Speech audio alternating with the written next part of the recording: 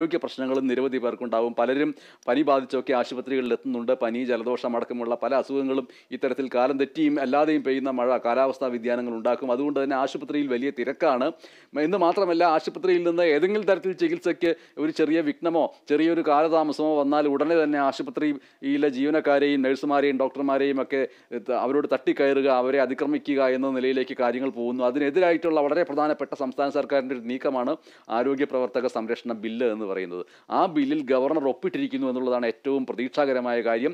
അതുകൊണ്ട് തന്നെ ഇനി ആശുപത്രി പ്രവർത്തകർക്കെതിരെ എന്തെങ്കിലും അതിക്രമങ്ങൾ ഉണ്ടായാൽ ആരാണോ അതിക്രമം നടത്തുന്നത് അവർക്കെതിരെ ശക്തമായിട്ടുള്ള നടപടി ഉണ്ടാവും എന്നാണ് മനസ്സിലാക്കേണ്ടത്. വിഷ്ണു അതിന്റെ വിശദാംശങ്ങൾ പങ്കുവയ്ക്കും എന്താണ് വിഷ്ണു ആരോഗ്യ പ്രവർത്തക സംരക്ഷണ ബില്ലിൽ ഗവർണർ ഒപ്പിട്ടതോടുകൂടി ഇനി സംഭവിക്കാൻ സാധ്യതയുള്ള കാര്യങ്ങൾ?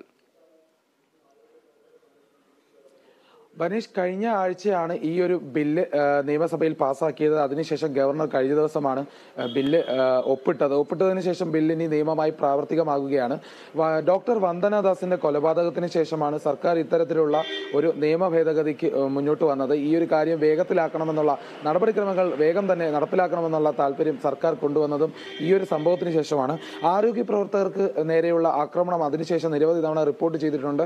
അതിനു മുമ്പ് ഇത്തരത്തിലുള്ള ആക്രമണം ഉണ്ടായാൽ കാര്യമായ ഒരു പരിഗണനയോ അല്ലെങ്കിൽ നടപടി സ്വീകരിക്കുന്ന കാര്യമോ കടന്നിരുന്നില്ല. പക്ഷേ ഇപ്പോൾ അത് കാര്യമായ രീതിയിൽ പരിഗണിക്കുന്ന ഒരു സാഹചര്യമാണ്. അതുകൊണ്ട് തന്നെയാണ് നിയമ ഭേദഗതി നടത്തിയത്.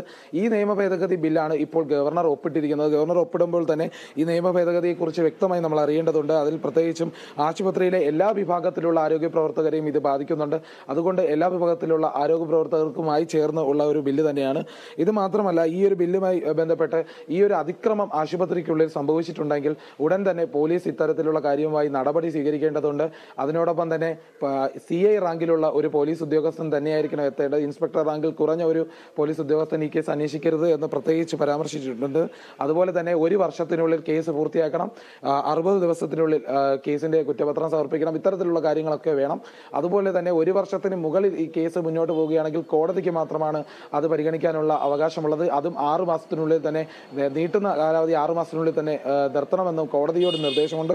ഇതോടൊപ്പം തന്നെ പരമാവധി ഏഴ് വർഷം ശിക്ഷയാണ് ഈ ആശുപത്രി അധികൃതർക്ക് നേരെയുള്ള ആക്രമണത്തിൽ പറയുന്നത്. ഏഴ് വർഷവും ഒരു ലക്ഷം രൂപ പിഴയും നടക്കി ഒടുക്കേണ്ടി വരും. ഇത്തരത്തിലുള്ള ഒരു ബില്ലാണ് ഇപ്പോൾ ഗവർണർ പാസ്സാക്കിയിട്ടുള്ളത് മാത്രമേ ഇനിയും കുറച്ച് ബില്ലുകൾ പാസ്സാക്കാനുണ്ട് നിയമസഭയിൽ ലോകായുക്ത സർവകലാ ഭേദഗതി ബില്ലുകൾ അടക്കമുള്ള ബില്ലുകൾ ഇനിയും പാസ്സാക്കാനുണ്ട് പക്ഷേ ഇപ്പോൾ ഈ ഒരു ബില്ലിന്റെ അത്യാവശ്യം ഈ ഒരു നിയമവകുപ്പിന്റെ അടിയന്തര സാഹചര്യം കണക്കിലെടുത്താണ് ഗവർണർ ഇപ്പോൾ ഒപ്പിട്ടിരിക്കുന്നത്. മനീഷ്